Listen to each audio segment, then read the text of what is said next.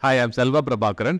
In this, let's look at the actual logic and the intuition behind what goes on behind the scenes behind kernel density estimation. Okay, so quite straightforward. Suppose if you are given a data, right, let's say you have certain certain set of values under this particular array X. Now, if you want to see how this data is distributed, we would go for something like a histogram. See, this is like a this is an histogram for X which contains six different values.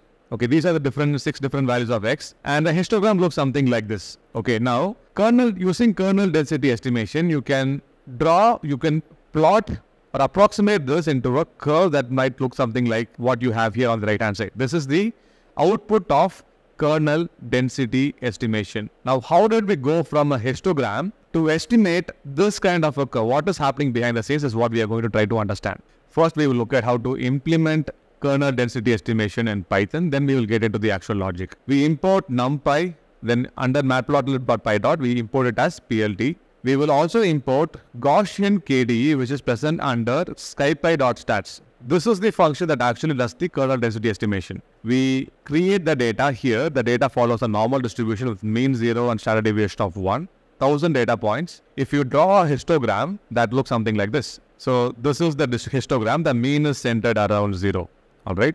And we have a standard deviation of 1 this is basically a standard normal distribution. All right. To implement kernel density estimation we use gaussian kde pass the data to it.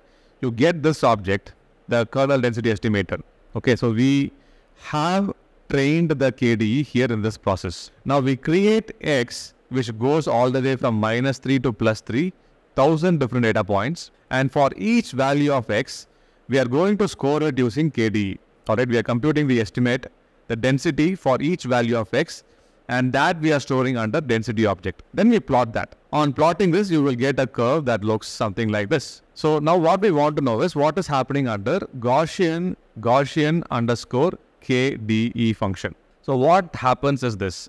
For each of the six data points we have here, okay, for each of the six data points, we draw a Gaussian kernel for each of the six data points centered around those respective data points. So for this, this particular data point, we are drawing a Gaussian kernel centered around this. Likewise, for this particular data point, we have a Gaussian kernel that goes something like this. Now, once we have all the six Gaussian kernels, we have six different six different curves here. If you count it, you will have six different curves. Okay. Once you have this, for every point from the extreme left to the extreme right, for every point, take any point, let's take this particular point, okay. For every point, we will add up the values of Gaussian kernels, that is, it is meeting at this particular point, it is also meeting at this particular point, it is also meeting at this particular point. So, the y-axis value for an x-axis value of this will be the summation of this value plus this value plus this value. You add up all these three, it is going to meet somewhere over here. Likewise, we do the same, not just for these six data points, not just for this, for the entire range of values along the x-axis.